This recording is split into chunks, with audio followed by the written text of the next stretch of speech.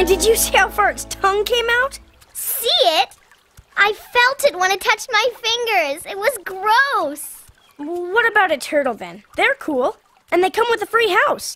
They do? Sure, you know, they're shells. Turtles are too. Mm, turtley. Huh?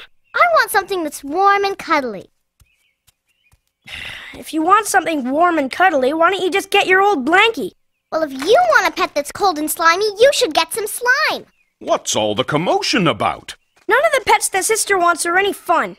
All the pets that brother wants are too weird. They are not. Are too. Now, settle down. We'll go to the pet store.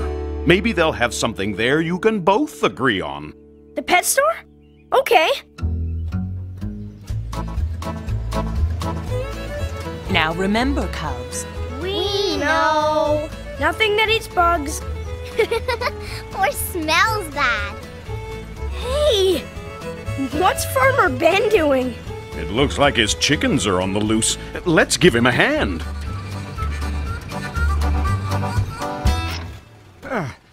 Come back here.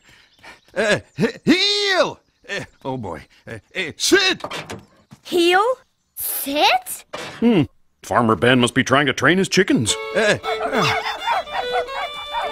Puppies! Oh, they're so cute. oh, these pups uh, are getting to be quite a, a handful. I'm going to have to put an ad in the paper to see if I can find them good homes.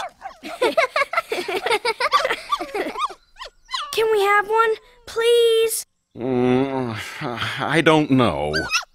W- we'll think about it. What do we have to think about?